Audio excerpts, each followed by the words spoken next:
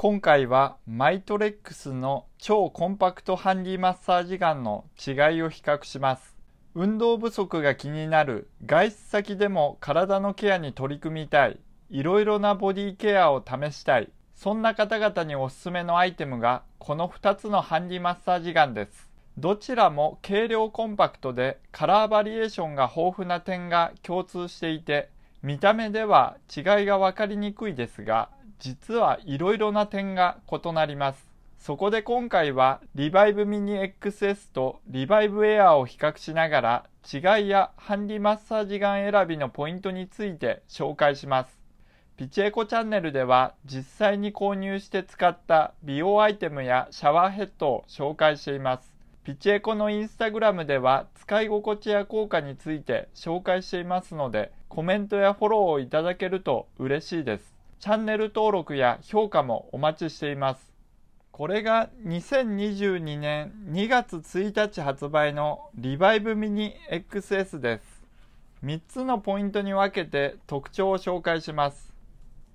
1つ目がリバイブエアに比べてパワフルに使えることです。最大回転数や5段階の振動レベルで使える点は同じですが、耐圧性能に違いがあります。体圧性能とは体重をかけた時にどのくらいの圧力に耐えられるかの目安で力強さに関わります。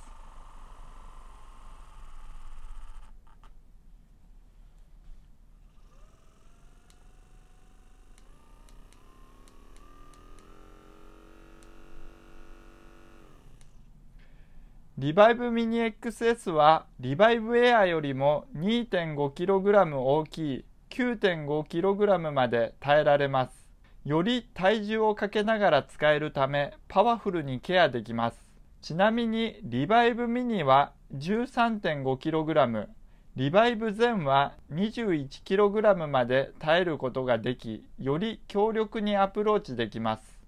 2つ目が別売りアイテムが充実していることです。リバイブミニ XS は基本的に4つのアタッチメントで使えます。これが玉型でハンディマッサージガンの代名詞的存在のアタッチメントです。ふわふわではなくカチッとした肌触りですが体のどの部位でも使いやすいです。これが干渉型でシリコンの柔らかい素材が使われていて主に顔や首周りで使います。普段動かすことが難しい部分にも優しくアプローチができます。これが円柱型でピンポイントにほぐしたい時や力強くアプローチしたい時に使います。リバイブエアのどのアタッチメントよりも強力に使えて足裏や腰回りなどで活躍します。これが U 字型で前腕や脊柱などに使います。個人的にはこれで足裏や手のひらをケアするのがお気に入りです。4種類のアタッチメントの他にも別売りアイテムとして針型アタッチメントとバックケアアームが存在します。これが針型アタッチメントで顔周りや首筋付近で使います。パッと見た感じ強力にアプローチできるように思いますが使い方としては先端部分を軽く当てて使います。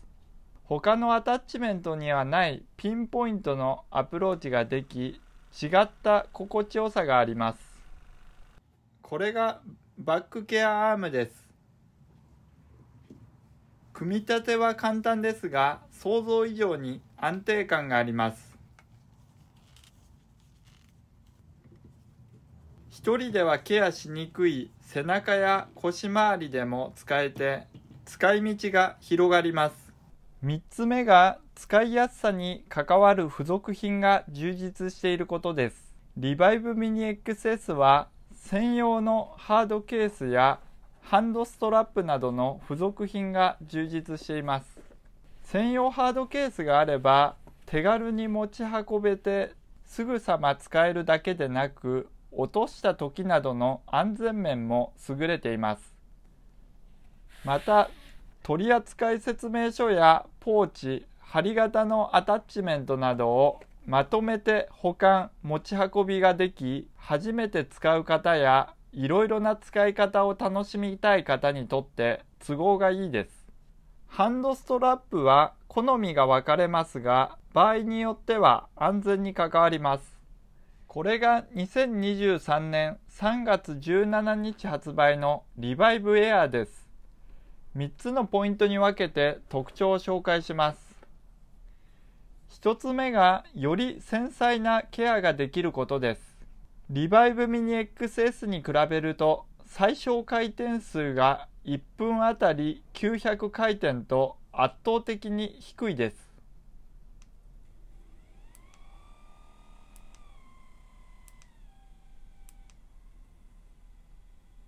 繊細なケアが必要な顔や首周りでも使いやすいです。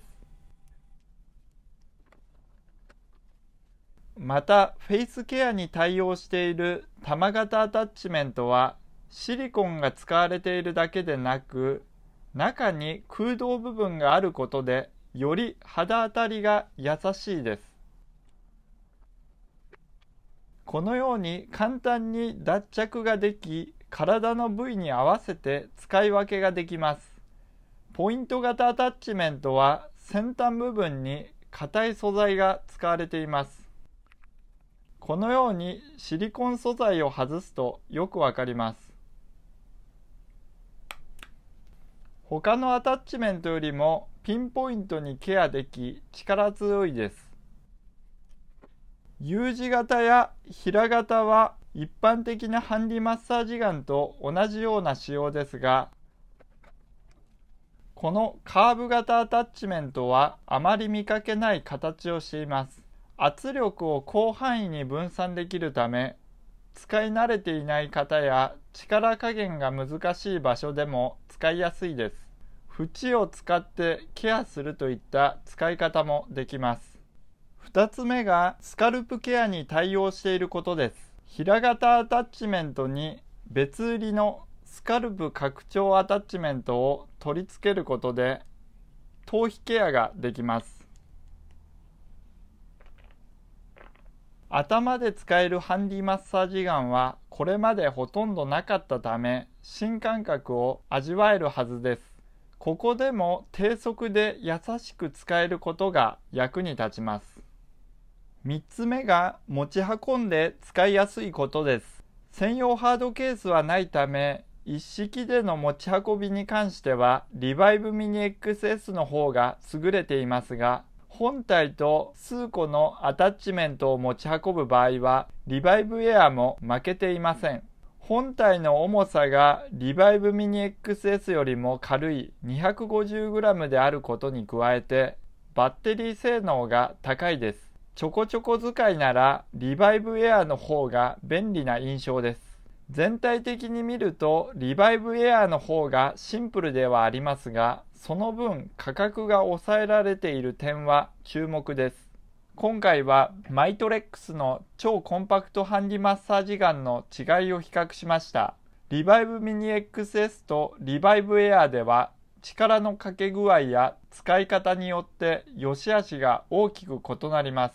力強さにもこだわりたい、いろいろな使い方を試したい方はリバイブミニ XS 繊細にケアしたい、外出先でも頻繁に使いたい方はリバイブエアーがおすすめです。ぜひ参考にしていただけたらと思います。他のハンディマッサージガンとの違いを知りたい、購入先を迷っているなどありましたら気軽にコメントいただけたらと思います。ピチエコチャンネルでは他にも便利な家電やシャワーヘッドについて紹介していますのでチェックいただけたらと思います。チャンネル登録や評価もお待ちしています。ご視聴いただきありがとうございました。